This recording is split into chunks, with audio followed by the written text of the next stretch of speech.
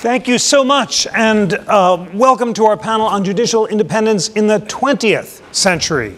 We are honored to be joined by Stephen Burbank, the David Berger Professor for the Administration of Justice at the University of Pennsylvania, and author of landmark articles including Judicial Independence, Judicial Accountability, and Interbranch Relations. And Tara Leigh Grove, Professor of Law at William and Mary, and author of equally important articles, including The Origins and Fragility of Judicial Independence. Uh, Stephen and Tara, we just heard this great discussion about how in the 19th century there were threats to increase and decrease the size of the court and to strip the court of jurisdiction. We begin the 20th century with threats to overturn judicial decisions by popular referenda and to recall judges for unpopular decisions and to overturn judicial decisions by votes of Congress. And then we have the Great Court Packing Plan in the middle of the 20th century, which is fought back. And by the end of the 20th century, we have landmark examples of the judiciary standing up to the executive in the federal and state systems, including Cooper and Aaron ordering the integration of public schools and US v. Nixon, the unanimous decision ordering the president to turn over the tapes.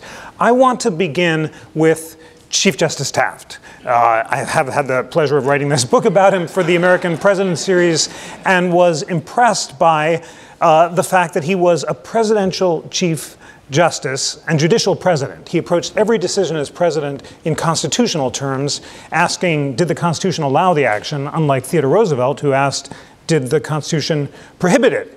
He yearned to be Chief Justice and fought the election of 1912 on the question of judicial independence, believing that Roosevelt and Wilson, by endorsing populist attacks on judges, were the equivalents of demagogues. And we have in the reading this dramatic quotation from Chief Justice Taft the agitation with reference to the courts, the general attacks upon them, the grotesque remedies proposed of recall of judges and recall of judicial decisions, and the resort of demagogues to the unpopularity of the courts as a means of promoting their own political fortunes all must be lamented.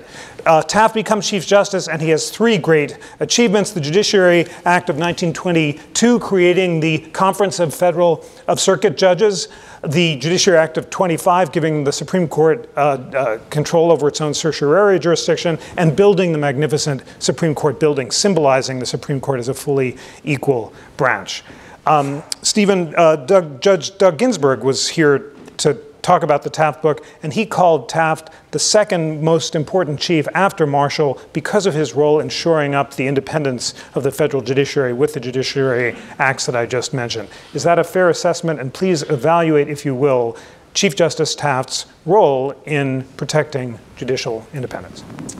I think it is a, a fair characterization. Um, for most of our history, uh, federal judges conducted their judicial business in solitary splendor. Um, the concept of the federal judiciary was more notional than it was an organizational uh, reality, and it's not surprising, therefore, that the concept of judicial independence was associated primarily with individual judges rather than with uh, the separate third branch of the judiciary. Uh, Taft's reforms uh, changed all that. Uh, they enabled uh, the federal judiciary actually to function uh, as a third branch um, through um, greater efficiency in management of the affairs of the courts, uh, the effect that that had on judges in uh, federal judges who might have thought of themselves as conducting separate duties, uh, that they all had something uh, in common to pull for, and Taft was a remarkable person in terms of his political skills. Uh, he had vast networks. Uh, he kept in touch with people. He made most federal judges understand uh, that um, they would better hang together uh, rather than uh, separately. And so, by creating the, what we now call the Judicial Conference of, of the United States, uh, putting in place, although it didn't happen until he had died, the, the mechanism that gave the Supreme Court of the United States the power to promulgate rules of procedure through the Rules Enabling Act of 1934. Taft was really responsible for that. Indeed, early on in my career, I found in a uh, dusty archive in Des Moines, Iowa, the, the eureka moment of any young scholar, namely a letter from, from Taft to Senator Albert Cummins of Iowa, which is why I was in Des Moines, uh, in which Taft had included a draft of the second section of the Enabling Act of 1934, as wow. it was in fact enacted. So he was very actively involved in politics, but he was also, again, a good politician. So rather than himself go to testify in favor of what is, was called the Judge's Bill, the act in 1925 that uh, converted most of the Supreme Court's docket into a discretionary docket, um, he sent over uh, some of his colleagues uh, who were very effective uh, uh, in testifying in favor, including George Sutherland, who, of course, had been a senator and was testifying in, in front of some of his former colleagues. Uh, ultimately, in 1939, again after Taft had died, but I think we can give him a good deal of responsibility for it, you had uh, the creation of the Administrative Office of the United States, and more important, a transfer of the budgetary uh, power from the, from the Attorney General of the United States to the judiciary. So if you put all that, all that together, uh, I think it's a fair characterization of Taft as being next to, to Marshall, and in some ways even more than Marshall uh, in terms of the judicial, judiciary as a branch of government, um, an independent branch of government. He deserves an enormous amount of credit. That is wonderful for those of us who are Taft admirers to hear your high estimation. And what an amazing eureka moment. You know, it was in while he was president, Taft made basically a State of the Union speech saying the reform of civil and criminal procedure is the most urgent question facing America at this moment. Can you imagine a president saying that in prime time today? And it was that that led him to propose in 1923 the act that became. Well, may I please uh, add to that? Um, it is interesting. Um, uh, and I think not just with the benefit of hindsight, that Taft represented uh, a lot of reforms that had deep substantive and political resonance as involving efficiency. Uh, th thus, in the, in, the, in the period that you were referring to earlier, uh, his, uh, he, he, he characterized so much of what he wanted to do in terms of efficiency, even though he well knew it had to do with power. Tara, your estimation on Taft, um, I, am very eager to hear it. You have written that judicial independence is as much a convention or a norm as uh, anything compelled by law. And yet, when we think of Taft's reform, his great achievement was a, as an administrator. Uh, Henry Stimson, who served as Secretary of War under Roosevelt, Truman, Taft, and Hoover, said that Taft was the greatest administrator of them all. And as described by Stephen, his reforms were primarily administrative. Was that the key to his uh, contributions to judicial independence, or was it his personal leadership, or do you have a different estimation of his role in promoting judicial independence? Um, so there, there, are many fun things to, to say about William Howard Taft. Um, you, you alluded to one of them. He said he, he was president of the United States, but his dream job was to be Chief Justice of the United States. And I don't think many people can say that. Um, one of my other thing, favorite, favorite notes about Taft in 1912, when he lost the election to, to Woodrow Wilson, he actually called it a win because he had defeated Teddy Roosevelt's attack, attacks on, on the federal judiciary. He wrote to a friend after the election, yes, we pulled this one out. It's good, um, which you don't hear from many, many presidents who are now, how, now lame duck. So I think he really believed in judicial independence. That was, however, not a focus of, of his his chief justiceship, probably in part because um, although there were attacks on the federal judiciary during that period, um, that was not the those were not the key moments of the attacks. I think he was trying to build the federal judiciary for the long term, um, and I think you've alluded to some of his comments. Steve has alluded to some, some of his contributions, and Steve has alluded to some others. Um, but I want to talk about another thing that Taft did, and that was to change the notion of the Supreme Court's role within the federal judiciary. Um, and this was part of his efforts to build the federal judiciary as an institution. Um, so he did many things on the administrative, administrative side. But in advocating the Judges Bill, the Judiciary Act of 1925, Taft had a vision of the US Supreme Court Prior to that time, a big part of the Supreme Court's job was to correct errors in the lower courts, to make sure they were doing the right thing. Um, and he thought that was not at all what the US Supreme Court should be doing. Uh, it, that was in part because of capacity constraints. Um, the Supreme Court's caseload had gone up to about 18, 1900 by the late 19th century, and they were able to bang out maybe four to 500 cases out of the couple thousand that were on their docket in the early 20th century. Now, note, four to 500 cases per year. A little bit different from the 80 they, they sometimes put together uh, in, in today's world, but With fewer law clerks. with fewer law clerks. They, they decided 400 to 500 cases per year. But Taft said, look, look, we're deciding a whole bunch of cases that we shouldn't be deciding. The Supreme Court should no longer be a court of error. It should be a court that, that sets general principles of law for lower courts to use in, in many cases. Um, I, I, know many people in the room are, are, are, judges who try to make sense of Supreme Court decisions, so, so one can question how, how good of a job they do in clarifying the law, but that was the vision that Taft had of the US Supreme Court, and you see this throughout the 1920s and in his testimony, um, both leading up to and on behalf of the Judges Bill, um, saying we, we, we need certiorari jurisdiction so that we can choose those cases where we can define those general principles of law.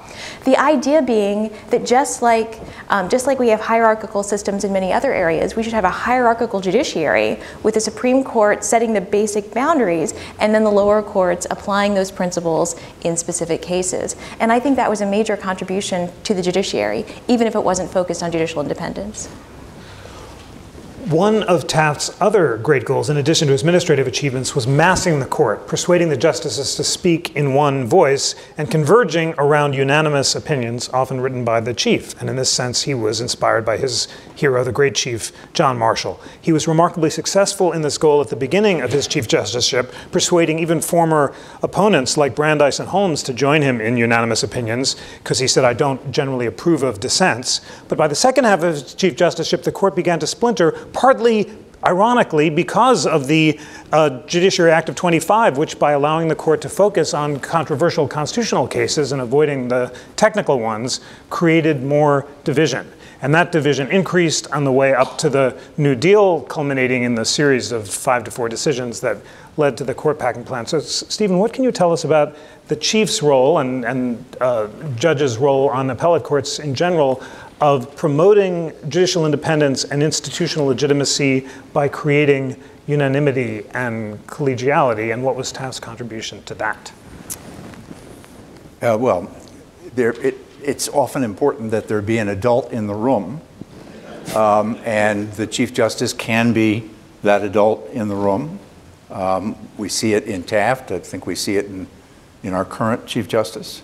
Um, when your colleagues are, are so uh, bound up in, in, um, in their particular views, sometimes it requires that the Chief Justice remind them that uh, they are part of a larger uh, enterprise and that um, the legitimacy of the Supreme Court, um, what political scientists call diffuse support for the Supreme Court, is absolutely essential uh, to its continuing uh, function as an independent branch of the government, uh, free of undue influence by the executive or the legislature. If the, if the Supreme Court of the United States and the federal judiciary as a whole loses what the late, great Richard Arnold called the consent of the governed, um, then they will lose their independence. Um, we haven't talked about judicial accountability, but only a lawyer can think about judicial independence uh, and not think about uh, judicial accountability. There are different sides of the same coin. No society would want judges or courts. And let's remember that Article 3 of the Constitution invests not judges, but courts with uh, judicial power. Uh, no society would want completely independent courts that were free to decide cases any way that, that they wanted. The society wouldn't be able to, to operate. So you have to have a certain amount of accountability. Uh, you have to have a certain amount of political influence on the courts. Um, the tools uh, that preserve in the Constitution judicial independence, um, life tenure, and uh, a um, secure compensation are in fact not adequate at all to protect judicial independence. There's so many ways, formal and informal, in which the political branches can influence uh, the federal courts that without norms, um, or as Tara has called them, conventions, um, we, be, we would be in deep trouble. The judiciary would be in deep trouble. So, to get back to your question, Jeff, the Chief Justice of the United States, and it continues to astonish me that even very bright people sometimes refer to him as the Chief Justice of the Supreme Court. The Chief Justice of the United States has a unique role to play, and um, I'm, I'm, I'm, happy that Taft was in that role because he uh, was very good at it.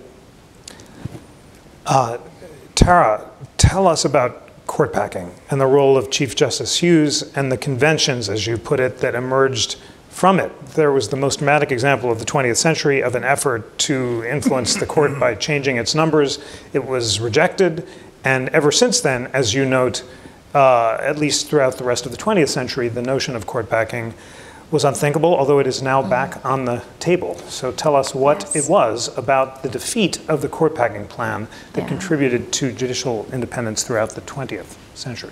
Um, I published a paper in March of 2018 saying that court packing was the, the single most off the table court curbing measure, which I believe was true in March 2018. Um, and and that, that seems to be changing, and that really, really brings us back to, um, to this earlier period and what actually happened in 1937. Uh, so, a couple of things about that.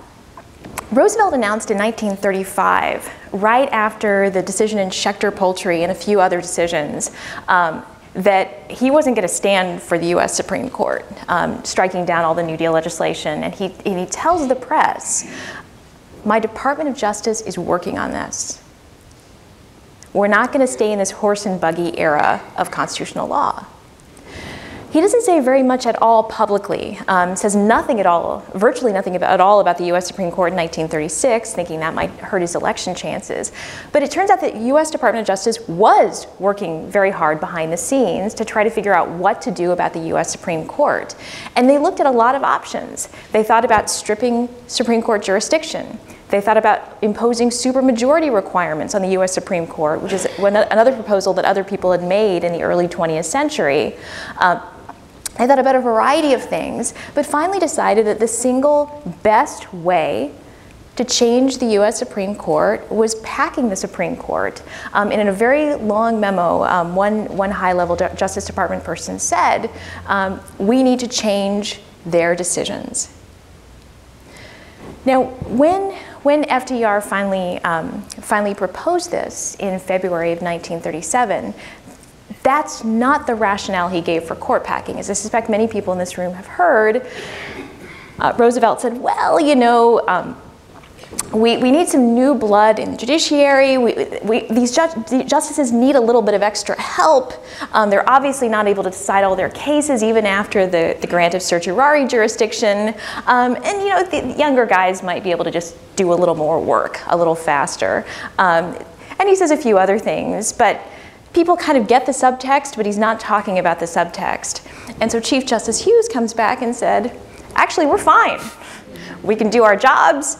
We were plenty, we're, we're, we're pl absolutely well staffed. Um, and also points out, and this is something that had been debated in the 19th century as well, if we have more people, it's going to take a lot longer to make decisions because it's hard enough to get nine people to stop talking um, and actually to come to a ruling. Imagine if it were 10, 11, 12, 13, 14, or 15. Um, and those of you who have been in en banc courts and the courts of appeals, I'm sure know exactly this, um, this, this uh, problem. So Chief Justice Hughes refuses to comment on the merits of the court packing plan, but at least undercuts this rationale, I think, in a very powerful way. Uh, so Roosevelt comes back and says, okay, um, here's the real reason. The real reason is we have a Congress and a president who are working hard to change the constitutional vision of this country. We are looking for a constitutional vision that will help the working man. And there is one branch of government that is completely cutting against this crucial constitutional vision that will uphold uphold minimum wage laws, uphold maximum hour laws. And that's the US Supreme Court. And American public, that needs to change. Now, I think a lot of times when we hear about the court packing plan in US history, we hear Roosevelt proposed this plan, people thought it was crazy and absolutely raced against it. Um, and then it was, it was smashed in defeat, ruined Roosevelt's presidency, and, and he regretted it forever. I think sometimes that's, that's, that's the story people are told, and that's just flatly not true. In fact, Roosevelt's plan came very close to passage. Um, even if he might not have gotten a six justice court packing bill as he initially proposed, there's a very good chance he would have gotten a four justice court packing plan had it not been for the death of, of the chief proponent, um, Senator Joe Robinson. And of course, as we all know, possibly also had it not been for the Supreme Court's change in direction um, the so-called switch in time that changed nine. Now, one of those decisions, West, Host, West Coast Hotel versus Parrish, um, there are a lot of debates about that decision because the vote in the U.S. Supreme Court had occurred well before, uh, the internal vote in the U.S. Supreme Court had occurred well before Roosevelt announced his plan. Um, but that wasn't the only case where the Supreme Court kind of switched on social and economic legislation. Um, in other cases, like Jones and Laughlin, um, the Supreme Court also ruled in favor of either federal or state power to regulate economic conditions. And that also significantly impact this, impacted the success of the court packing plan. But I have argued there was not a strong norm against court packing even in 1937, even after the failure of Roosevelt's plan. And we see some evidence of that in the early 1950s when members of Congress propose a constitutional amendment to fix the size of the U.S. Supreme Court at nine. That constitutional amendment also would have made it impossible to strip Supreme Court, the Supreme Court's appellate jurisdiction over constitutional claims. In discussing that constitutional amendment, people didn't say Roosevelt had violated a norm. They said, this is something that almost passed um, about 15 years ago. We need to protect the US Supreme Court from future packing attempts by passing this constitutional amendment. Now, that amendment passed the US Senate um, by a pretty wide margin six days before the US Supreme Court decided Brown versus the Board of Education. After that, there was far less support for the amendment. And now some pro progressives opposed it because they thought that this is just a, it's a bad idea to fix the US Supreme Court. Maybe we'll, we'll need more justices later on. Um, but after Brown versus the Board of Education, I think a lot of, a lot of support was lost among the more conservative members of Congress as well. And, Go ahead. And so the final thing I'll say is I believe that the norm, current norm as of March of 2018 against court packing came largely from political rhetoric. Because when there were court curbing proposals thereafter, people would denounce it. People on both sides of the political aisle, Republicans and Democrats, would denounce whatever, um, whether it was a jurisdiction stripping measure, something else, a particular nominee they did not like, they would denounce it as this is just another court packing attempt. So such that court packing became a political epithet as of March 2018. Let me thank you, first of all, for that extraordinarily illuminating account of court packing and reminding us of the contingency of its failure, just as in the 19th century uh, the size of the court fluctuated. You remind us that it almost succeeded, and it was rhetoric and the bipartisan opposition, both in Congress, where congressional Democrats like uh, vice, the vice president uh, denounced it, as well as on the court, where it was Louis Brandeis, who was the conduit between Chief Justice Hughes and Congress, helped to defeat it. Stephen, you, with your important work, basically your reflections on what it was that killed court packing in the 30s and what the lessons are for whether it might succeed today. Well, I mean, Tara's account is, I think, absolutely right. I would add two different um, possible contributing factors. One, um, there were people, including progressives, who were concerned about the aggregation of power in the executive uh, and, and thought that the court packing plan, if it were approved, would represent another step towards perhaps a too powerful executive. The other, which will be near and dear to many people in this room, is that um, before the court packing plan came up for a vote, Congress um, passed legislation that made it possible for the first time for justices of the Supreme Court to assume senior status. Uh, that had not previously been, uh, been permitted um, because of concern that you could have 20 people on the Supreme Court. There was an obvious answer to that, the answer that was adopted in 1937, and that is that when a justice assumes senior status, uh, he or she may retain the office but cannot continue to do judicial work on the Supreme Court. Um, some people thought that that legislation uh, was proposed as part of the campaign against uh, uh, Roosevelt's plan. That's not accurate because the legislation, in fact, had been proposed before, uh, the year before, before uh, Roosevelt's plan was known. Uh, it was proposed because Congress was chagrined that although in 1869, when, uh, when Congress first provided uh, the opportunity for federal judges to have a pension, um, the concern had been expressed well, if they, if they get off the courts, uh, give up their Article 3 uh, positions, then their pensions could be cut. That was treated derisively. Oh, we'd never do that. Well, in fact, they did do it. In the Economy Act of 1932, which cut Oliver Wendell Holmes's pension by half. And Congress felt very ashamed of themselves for that. And uh, the, the remedy was to permit an alternative to resigning your Article 3 post, namely, you keep your Article 3 post, you can't continue to, to participate in the work of the Supreme Court, but you can do what justices have done since uh, then, which is to sit, some of them, uh, with lower courts. Um, and uh, although it was correctly um, responded to the, to the claim that this was done to defeat court packing. No, it wasn't. But Hamilton Fish, who was perhaps Roosevelt's chief antagonist in the House of Representatives, was openly gleeful that the passage of this legislation would doom uh, the court packing plan. And indeed, shortly after the legislation was passed, uh, one or more members of the Supreme Court uh, retired from the Supreme Court, but they retired in senior status, and they got, therefore their pensions were protected. Thanks for those two very important uh, insights about the uh, internal incentives for judges to retire and the external desire not to consolidate too much power in the executive. Tara, I, I want to answer this basic, uh, broad question why was it that for the rest of the 20th century, in the midst of some of the most controversial challenges to the executive and Congress in our history, from Brown versus Board of Education to Cooper and Aaron to Watergate to uh, Roe v. Wade, uh, the norms of judicial independence and against court packing essentially continued. And you note that norms in the nominations process, like the filibuster requirement, were only repealed at the beginning of the 21st century.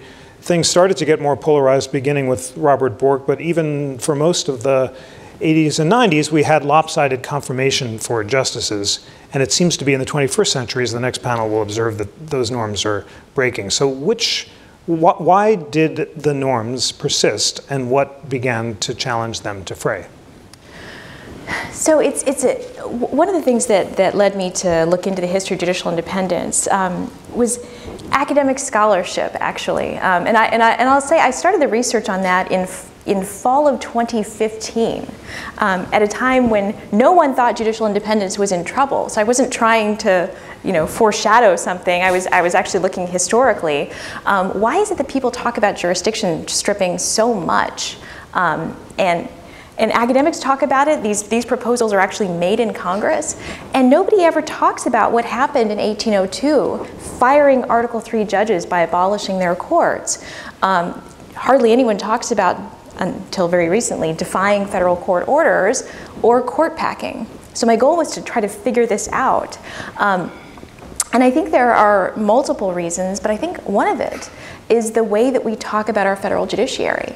Um, the way we, meaning in part academics, have talked about our federal judiciary. Starting around the um, 1960s and 1970s, academics offered a really powerful story to support stripping federal jurisdiction. They said, look, this is a way to legitimate federal judicial decisions. If we know, this, this gets back to Steve's point about the sort of um, political accountability is important to judicial, to judicial independence. If we, if we know that Congress can strip federal jurisdiction whenever it wants to, then that really supports the idea that when federal judges have jurisdiction to make decisions, this is basically a license from Congress for them to decide as they think makes sense. What was interesting is this story, which you know has some um, makes some intuitive sense, could also be told about court packing.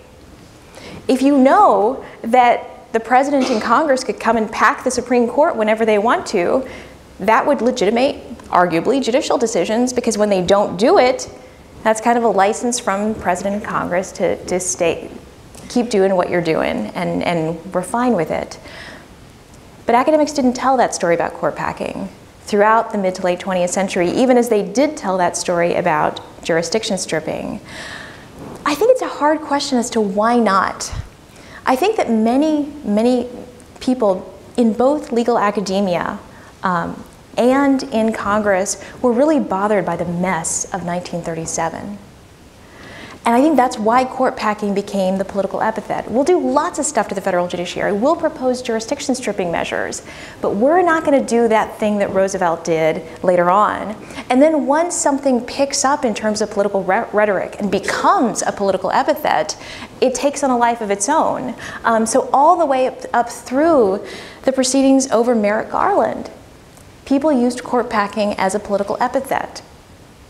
Republicans justified not holding hearings on Merrick Garland on the ground that the Democrats, in their view, had packed the DC Circuit in 2013 by abolishing the filibuster for lower federal court judges and putting three judges on the DC Circuit Court of Appeals and then putting lots of other people on, on the federal courts. Republicans said, well, you tried to pack the court and that therefore justifies what we're doing now.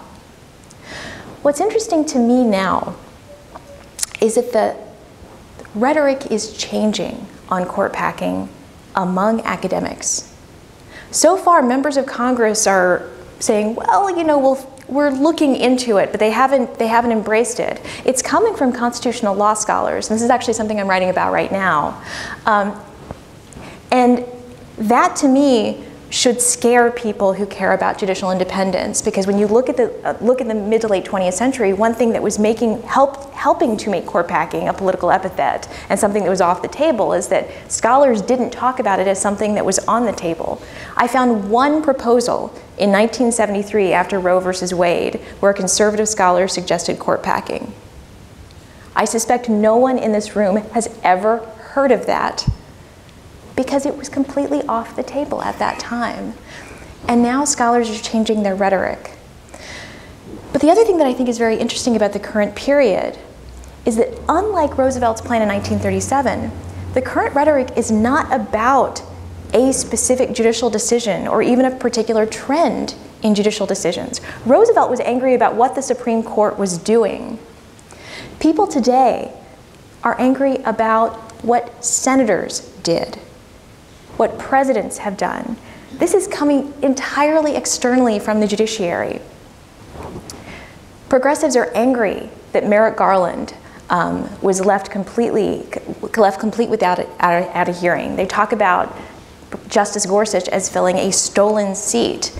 Um, the Brett Kavanaugh hearings were something, um, and I'll just leave it there. Um, but certainly did not look good for the federal judiciary. That's what's driving these allegations, something entirely external to the federal judiciary. Um, and that means, in my view, that federal judges cannot be the sole source of judicial independence. People also have to think about protecting in judicial independence and the appearance of judicial independence in the way that we select our judges in the presidency and the Senate. Thank you very much for that. Steve, the same extremely important question to you and I'm so eager for your answer. Why did norms of judicial independence persist for most of the 20th century? Why did they begin to fray at the beginning of the 21st? And what do you make of the new rhetoric among academics and others endorsing court packing that would have been unthinkable for most of the 20th century? Well, I'm going to try to stay in the 20th century. Good. Well, that's our panel, so that we can um, we can do that. And um, I support scholarship just as it supports me, but I don't have much illusion that um, most federal judges pay much attention to what scholars have to say. I don't think the views of scholars are particularly important uh, here. Um, I think that uh, the views of the public are, however, and it is worth noting that modern polling really only dates to the to the 1930s. Um, and um, polls have consistently shown uh, that the, the courts in general and the Supreme Court in particular uh, have much greater support among the public than, do, uh, than does the Congress. Uh, the executive, it, it fluctuates uh, a, a, little bit more. So I think that's, that's part of it.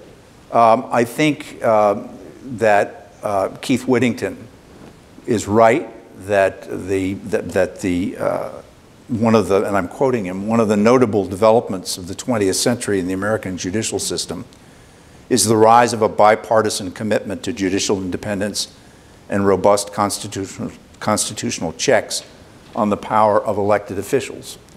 Um, a key moment that uh, has hardly been referred to uh, in these uh, discussion so far is Watergate. Um, and uh, for people of my generation, I'm 71, uh, Watergate is, you know, a very, very important moment. For me, it was particularly important, and forgive me a, a personal story. I had the privilege of clerking for Chief Justice Warren Burger. And on my first day at work, uh, I spent the morning going around filling out forms, and then I had lunch. And then I went back to my office, and a, a messenger arrived with an envelope and said, This is from the Chief Justice. He would like you to proofread this opinion. It was the Nixon tapes case.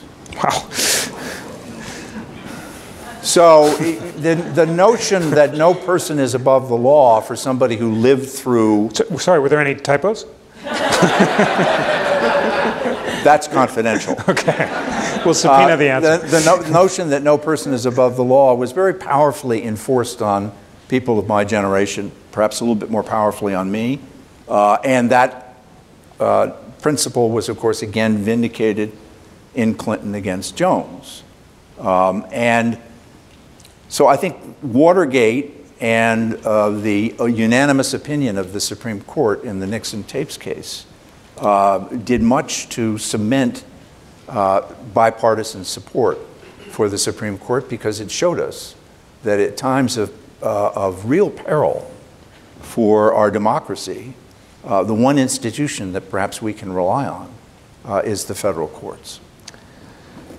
Uh, wow. Well, we're going to have just lightning rounds of closing statements. Um, and I'm just going to ask each of you if you had to identify, based on the lessons of the 20th century, a single thing that the federal judiciary, the Federal Judicial Center, or the National Constitution Center could do to promote judicial independence in the face of threats today, what would it be? Uh, and, and uh, Steve, uh, first to you. It would be to constantly reinforce the notion that judicial independence and judicial accountability are joined at the hip. That it makes no sense to talk about judicial independence without talking about judicial accountability. That if the federal judiciary shows itself to be properly accountable, it will preserve its judicial independence. Thank you for that. Tara, last word for you. A single uh, thing that the Constitution Center, the Federal Judicial Center, or the federal judiciary could do to promote judicial independence? I think it's important, important for people to see the examples that push against their presuppositions. I think far too often the media is talking about five to four decisions on a certain subject, subset of subjects, um, abortion, affirmative action, and so on, um, where people, where judge, judges make predictable responses. And what people don't hear about is the number of federal appeals court decisions that are unanimous, which is the vast, vast majority of them, the number of Supreme Court decisions that are unanimous.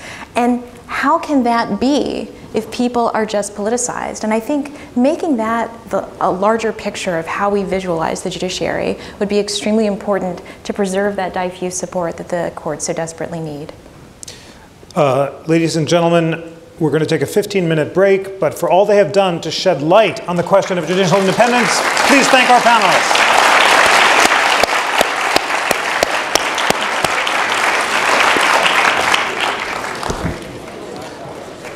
Superb and riveting.